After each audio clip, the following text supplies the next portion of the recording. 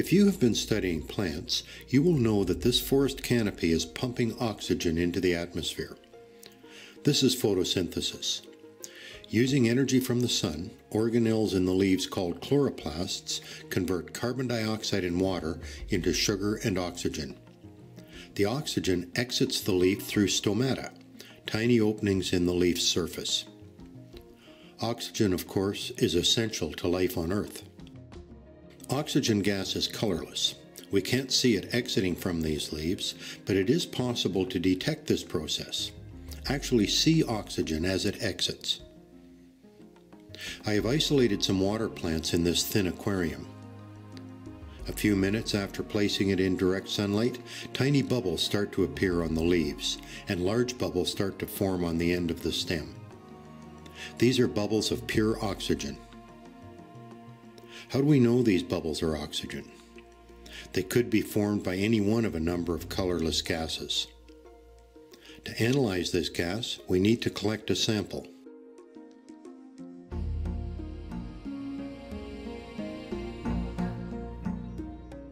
One method of collecting oxygen from water plants involves inverting a collector over the plants. I used a large plastic dome with a hole drilled in the top. A short plastic tube is glued in the hole.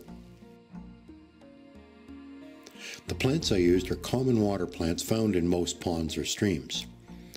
Before I put them in the aquarium, I added two tablespoons of sodium bicarbonate to the water. This increases the level of CO2. Carbon dioxide is an essential part of photosynthesis. With the plants in the aquarium, I inverted the collector over them. The collector is filled with plants and water. I had to place a loop of weights, metal washers, around the top of the collector to stop it from floating. Next, a test tube filled with water is fitted over the hose on the top of the collector.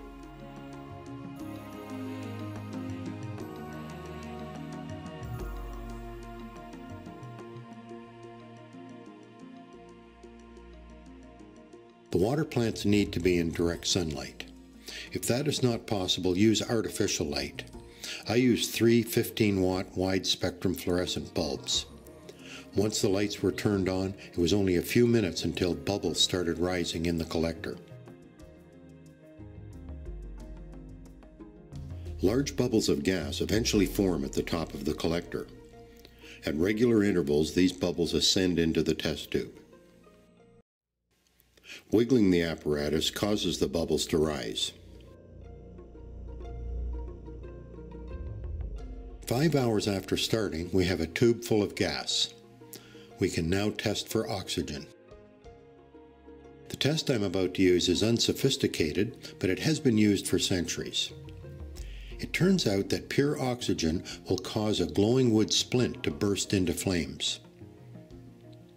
I've ignited a wood toothpick over a candle. After it has flamed for a few seconds, I extinguish the flame, leaving a glowing ember on the end of the toothpick. We will expose this ember to the gas in our test tube. If it bursts into flame, we have oxygen.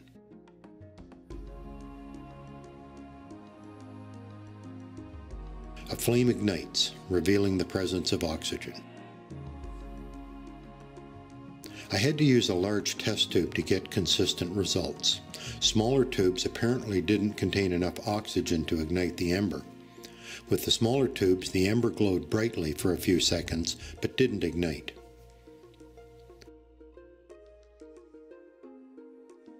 The large tube took between four and six hours to fill with oxygen.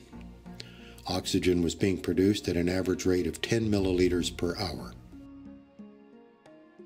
We have demonstrated that plants produce oxygen, a gas that is essential to human and other life on Earth. Without it, we would perish.